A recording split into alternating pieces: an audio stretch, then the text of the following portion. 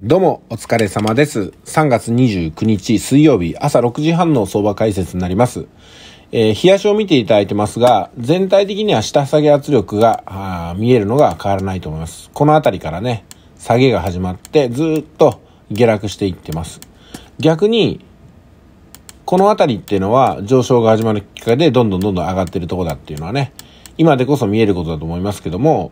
じゃあこれからの動きはどうなのかってことが分からずに悩んでるところですよね。その中で今週月曜日火曜日は、この下下げ圧力の中でも、月曜日火曜日のうちの月曜日は上昇するんじゃないかなってことをお話しまして、えー、実際ね、陽線がここに出て終わったということになります。昨日は火曜日なんで陰線で、えー、こういうふうにね、引けてますけども、今日はね、形成中のチャートが、今この瞬間なんで、な、論じてもしょうがないんですけども、赤い陽線を示してるかなってところです。じゃあ今日はね、上昇に向かうのかっていうと、私はね、今日から下落が始まると思ってますよ。で、今週は、あの、おそらく129円台で、えー、金曜日を締めると思うんですよ。ですんで、結果的には下落になる、そんな一週間だと思いますけども、えー、昨日今日とね、おおむね上昇してますんで、今日から3日間かけて緩やかに下落して、えー、今週を締めるというふうなシナリオを書いてます。その下落のシナリオの解説を今日はしていこうかと思いますので、よろしくお願いします。じゃあ4時間の方を見ていきます。はい、4時間を見てみますと、全体的に下落が起きているのは変わらないことだと思います。その中で月曜日に上昇が入って、えー、火曜日にね、おおむね横ばいってことになったんで、じゃあ下落していくのは、あまあ月曜日火曜日を見れば、なんとなくわかるよねっていうふうになりますけども、これも前提として、えー、1週間をかけて、緩やかに下落するっていうテクニカルの前提が、やっぱこう、先週からね、今週にかけて構築できたからなんですよ。まあですんで、え、相場解説っていうのはね、やっぱり一日一日を単体で見るんじゃなくって、昨日と今日の関係、1週間前と今日の関係、ひいて言えば1ヶ月前との関係っていうふうに継続して見ることでしかわかりません。ですんで断片的に見るっていうのはね、ほとんどね、その坂田候補暗記するみたいな感じになっちゃうんで、そこだけで攻略はできませんよってことなんですよ。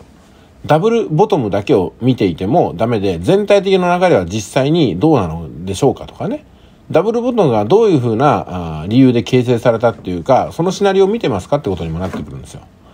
じゃあ、4時間見ていくと、下落は全体的に、えー、これはね、押し量れるとこだと思います。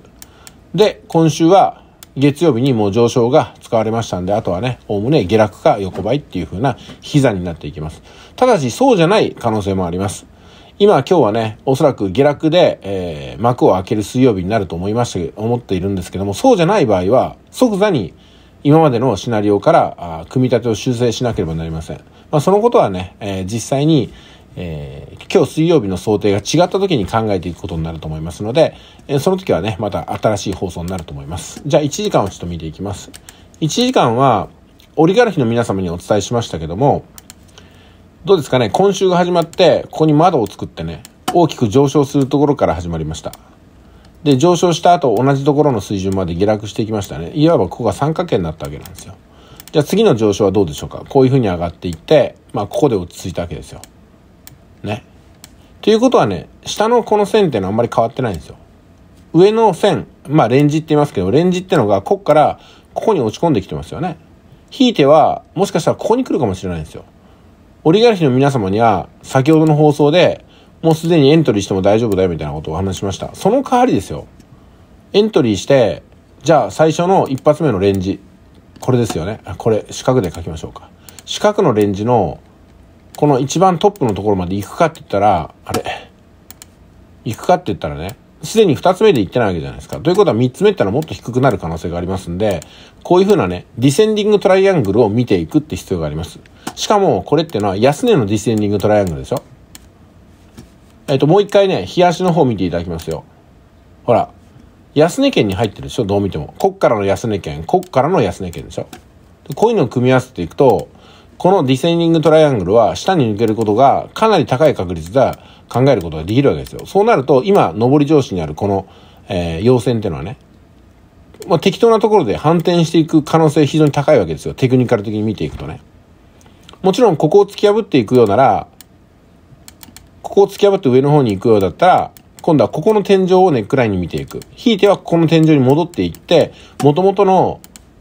レンジを形成し直すことも考えなくちゃいけません。その時はシナリオを変えるって言ってるんですよ。でも今のところ見て取れるのは、母この前で行くと、反転するところは、ここになりそうだな、この辺りになりそうだな、早めに来そうだなと思うんで、ディセンディングトライアングルが見えてくるわけじゃないですか。そうするとディセンディングトライアングルは下に抜けるわけでしょだから、今日からきっかけとして、水木金は下落が始まるんではないかなっていうふうにシナリオできるじゃないですか。で、ここを破るのが明日か明後日か分かりませんけども、もっと落ちていくんじゃないかなってところなんですよ。で、最終的に価格としては129円台が見えてくるよねっていうところまで物語が作れますかってことですよね。えこの辺りね。で、ここのブレイクアウトをしたら、129円の20とか30あたりまで落ちそうでしょ？うん。はい。ということで、ちょっと長くなりましたけども、今節丁寧に説明すると、こんな感じになります。じゃあね、え次の更新っていうのは、この変化を見てからになりますんで、早くても午後ですね。えー、もしくは、このまま1日見ていて、夕方の更新までお待たせするかもしれませんけども、もう今日みっちり、あの、仕込みましたんで、お話ししましたんで、他に言うことがありません。ですんで、それぞれの適正なエントリーのポイント、もしくは EXIT のポイントを探していただいてですね、あとはご自身で判断していってください。えー、まあ、もちろん、リアルタイムでの、あの、ご質問にはお答えしますけども、うん、まあ、でもこれだけ朝ね、あの、すり込んどきは十分じゃないですか。で、最終的には朝これだけの仮説ができるようになったら、